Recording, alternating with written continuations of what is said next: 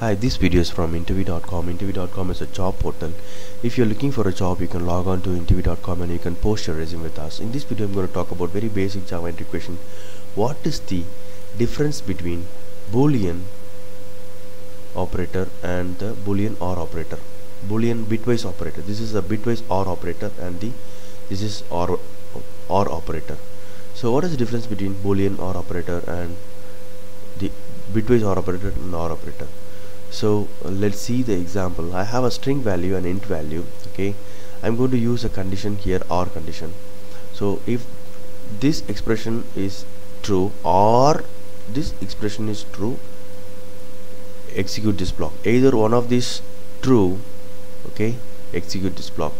It this might become false but if this is true it will enter. If this is false okay if this is true it will enter and if you see the bitwise OR I have a value called a is equal to 60 and b is equal to 30 okay? Please remember it will be converted into binary okay?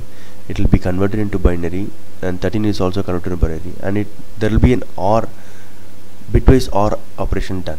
Please remember 0 to 0 0 0 to 0 0 1 to 0 is 1 because OR operator we are doing 1 to 0 is 1 so that's how we got 0 0 1 1 so 1 1 we got. 1 1 is 1 1 1 is 1 and 0 is 0 is 0 0 1 is 1 so a bitwise operation we have done here and this is what you will be getting. So whenever you, you do like this a bitwise OR operator b you will be getting value like this. Okay what internally happened I'm just explaining you. It will convert to binary and bitwise OR operation done okay? So let's debug this and check how exactly it works.